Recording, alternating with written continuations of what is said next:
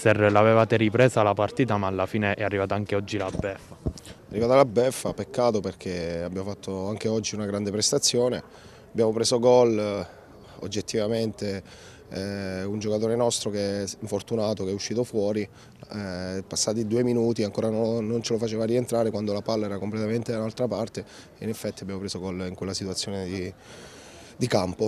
Mi aspetto che, che, riusciamo a uscire fuori da questa situazione, anche oggi eh, in emergenza abbiamo dimostrato di aver carattere e di, di dire la nostra in uh, qualsiasi partita del campionato.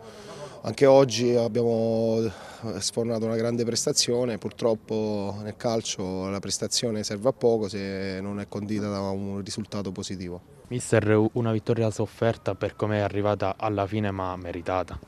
Sì, sì, assolutamente sì. E il fatto che la partita era difficile l'avevo detto già ai ragazzi, ma già l'avevo detto in settimana perché loro sono una squadra che ma anche con la, con la sconfitta di oggi non molleranno fino alla fine perché conosco l'allenatore, quindi di conseguenza Sapevamo che era una partita difficile contro tanti ragazzi che danno l'anima, vogliono mettersi in mostra così come i nostri.